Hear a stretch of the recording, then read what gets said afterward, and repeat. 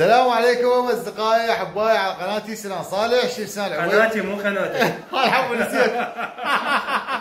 هاي نسيتها والله متعود على قناتي. المهم أصدقائي على قناه شيف وليد. إي. هنا اليوم أنا معزوم شيف وليد على الفطور. إي. ومحضر أكلة كلش طيبة. قلت له وليد خلينا نصورها وندز لهم اياه لأن أنا قبل ضايقها كلش طيبة عنده فقلت ضروري تاكلوه مني اليوم راح أسوي لكم. تمن هنود. حلو. والأكلة غريبة اليوم وبسيطة طبعا بنفس حلو. الوقت.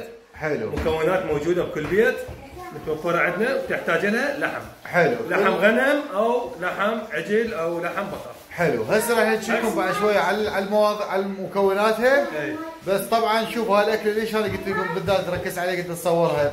يعني قد ما تصوروها طيبة؟ وأتمنى من عندكم اللي ما مشترك بقناة شيف وليد خليه يشترك بيها هسه.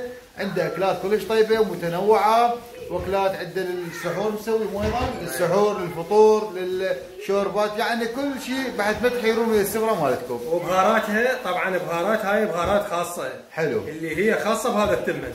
يعني مو إحنا نجيب نضيف بهارات أو نسوي تشكيلة بهارات. لا هي هاي بهارات موجودة عند العطار ولها اسم. هسه إن شاء الله نقول لكم عليها. حلو. وإن شاء الله شوفوا الطبخه شلون حتطلع ويانا اليوم؟ يلا فنقول لكم دائما خليكم ويانا وفعلوا الجرس والاشتراك الاشتراك واللايك. بالقناه من هسه حتى شنو يصير واهز شيف وليد نزلكم بعد أكثر وأكثر. خليكم ويانا. هسه راح نشرح لكم على الوضعية. عن طبخة الرز أو التمن هنود؟ حلو. طبعا هذا هنا عندي لحم مال بقر قطعته على شكل مكع- مكعبات. وسلكته طبعا الكمية أنتم حسب الكمية اللي تضيفوها بالتمن. بس هو لازم يكون به لحم زايد. هاي هنا عندي كيلو ونص لحم هنا عندي آه، ثلاثة أرباع تمن. يعني حلو. ثلاثة أرباع الكيلو. هنا عندي نص كيلو بصل. حلو. هذا هنا عندي ثوم. وهذا الملح. وهذا الزيت. وهاي هي البهارات الخاصة اللي قلت لكم عليها. هاي بهارات اللي يسموها بهارات التمن الهنود العطار هو يعرفها ما اعرفها هنا بأوروبا إن يكون العطار يعرف هاي المواد أو ما يعرفها. شوفوا. بس أنا تجيني من العراق. خليني أقول لكم شلون هاي. هسه أنا داشتها البهارات عيني موجود هاي بيها قرنفل موجود بيها جوز الطيب موجود بيها قرفة اللي هو الدارسين وموجود بيها آه ثوم بودرة وبصل بودرة موجود بيها أيضا. فريحتها كلش طيبة. يعني شيء على شيء استخدموا سبع بهارات. تطلع نفس النكهة. أو بهارات البرياني. أي. نفس بهارات البرياني بالضبط. أنصحكم تجربوه لأن نفس ريحتها تقريبا بالضبط عندنا موجودة. اللي ما متوفر عنده يستخدم سبع بهارات. أبو يوسف. بالضبط. هو الباكستانيين الهنود مشهورين بها عندهم هاي البهارات. يعني سبع بهارات خلينا نقول. نبدي بالطبخة. يلا حلو. أصدقائي هسه راح أخلي زيت. حلو. الكمية اللي احتاجها حلو. هذا زيت طبعا هسه عندنا زيت يحمى ونضيف المواد اللي راح نخلي الثوم وبعدين نخلي البصل حلو. أهم شيء يحمل الزيت حتى شنو؟ طبعاً. يكون يتقلى ياخذ الثوم ياخذ النكهة من عنده. اذا إذا ما حامل الزيت راح يصير سلق راح يصير شيء عادي. فلازم نخليه يحمى ونرجع لكم. طبعا هنا شيف وليد شو مسوينا اليوم؟ مرقة فاصوليا. فاصوليا خضراء. خلينا نشوف المرقة. يابا هاي المرقة فاصوليا خضراء. هلا أبو اللودي هلا. يا بتل المدلل مالتنا. يما يما يما. وهاي قلبي الشوربة وين شوربة شنو هاي؟ ثواني. شوربة عدس. شوربة عدس بويا اليوم. أها شوربة عدس. عندك غير شوربات مسويها وليد؟ مال ماش والله أريد أسوي مال جزر إن شاء الله. حلو. أسوي مال potato حلو حلو يا شوي. با يكتبوا شوربة من شيف وليد راح يطلع لكم. وإذا تريدون هم يكتبوا شوربة من شيف سنان العبيدي راح يطلع لكم. أصدقائي هسه راح اضيف الثوم. شوية نحمس بالثوم على مود يعطي نكهه لل- للرز أو التمن أضيف المونه مالته. حلو. أصدقائي هسه آه، حمس عندي الثوم. هسه راح اضيف البصل وياه يما شلون ريحة.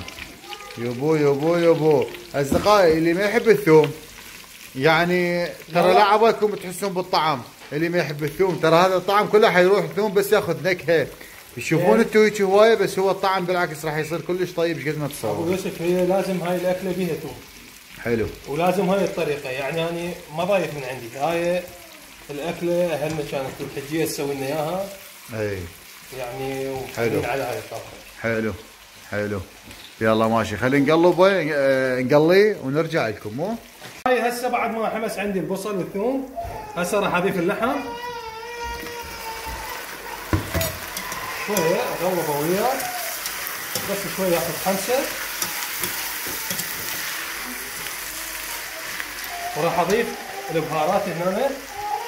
هاي عندي بهارات مال ثمن هنود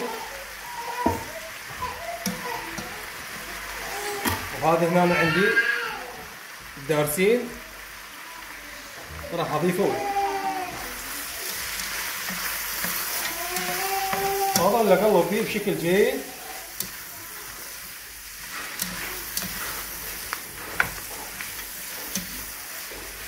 الله عليك ولودي على هالريحة.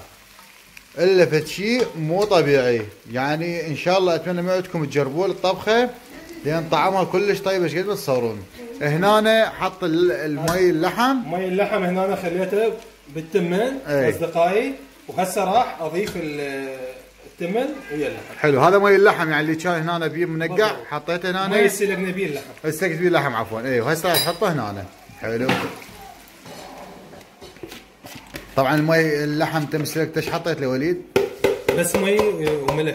مي وملح. بس. حلو. اصدقائي مي وملح اللي حتى الطعم لا يختلف عندكم. زين؟ لأن هي الطعم راح يصير بالبهارات. ابو طبعا اي اي يوسف. حلو حلو. عرفت؟ بس فد شي ريحته ها؟ إي، هذا لازم نخبطه للتمن ويا حلو. اللحم. حلو. والله ولود الشهي الشهي. لا هسه تذوقها ابو يوسف وان شاء الله تطبخها أنت الربعه هاي طبعا إن شاء الله. نزلها بقناتي همين. حيشوفوها بقناتي إن شاء الله. بنهاية الفيديو هذا راح انزلهم إياه.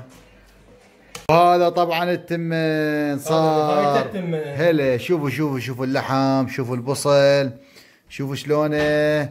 طبعا شنو؟ ما شاء الله ريحته فد شيء إيش قد ما تصورون؟ طيبة طيبة. وهسه راح نفطر بيه عيني. اضرب. أو الويو بالعافية. حبيبي طبعا فاصولية. خلي نراويهم السفره اليوم شو مسوي انت. حتى واحد من يسوي يعرف شو يسوي. حتى سفرتهم اليوم كلها عليك. طبعاً. أوكي؟ زين. عندك هذا شنو هذا هنا شوف وليد تشرح لنا عليه؟ هذا كباب الملوكي أنا منزله. أها. حلو يعني نزله زين. شو شو بس يكتبون انت ذاك اليوم عجبك وسوينا لك إياه. حلو. اي والله طبعا كلش طيب. كتبوا كباب ملوكي من الشيف وليد. ملوك. ملوكي، ملوكي. نفسه. اي ملوكي ملوكي. المهم كباب الشيف وليد راح تلقوه موجود عنده. زين بعد شو مسوي؟ فاصوليه خضراء كتبوا فاصوليا خضراء من الشيف وليد راح تلقوها موجودة. أي. شوفوا شلونها؟ هاي سلطه هنا عندي بالفاصوليه والمعكرونة. حلو. كتبوا هم راح أنزلها إن شاء الله. حلو. كتبوا سلطه من الشيف وليد سلطه المعكرونة. زين شوربة شوربة العدس من الشيف وليد أيضا كتبوها بعد شنو مي بالسفره اللحم طبعا. حلو. مي اللحم. حلو. طرشي هنا هذا طرشي. طرش مشبس. دي شوفوا شوفوا السفرة شلونها عايشتي لك ولودي عيني ورحم الله والديك ما قصرت. يابا شو نقول لهم دائما ولودي؟ لا تنسونا بالاشتراك واللايك بالقناة وتفعيل الجرس. هلا يلا أصدقائي. اشتركوا حتى يوصلكم كل جديد. نقول لكم مع ألف سلامة. باي باي. باي.